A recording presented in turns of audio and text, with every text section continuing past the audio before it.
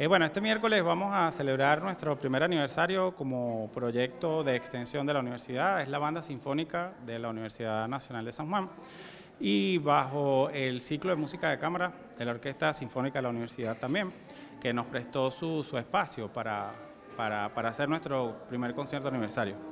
Eh, en este concierto vamos a tratar y a ejecutar obras de repertorio estándar y de alto nivel para bandas sinfónicas, tanto como adaptaciones y conciertos solistas que ejecutarán nuestros chicos, eh, alumnos del preuniversitario, alumnos del universitario, de las cátedras de la universidad.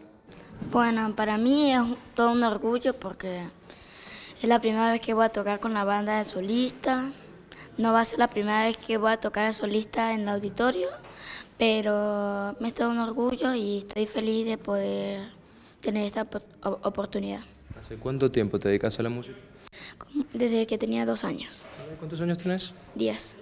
Creo que esta oportunidad que nos están dando a mí y a mis compañeros, eh, los profesores que están coordinando este concierto, eh, más que nada, como lo dijo Santi, es un desafío que, que asumimos con responsabilidad y, y vamos eh, ensayando y bueno, la banda con todos mis compañeros están ensayando arduamente eh, los profesores están en toda la coordinación también en la gestión.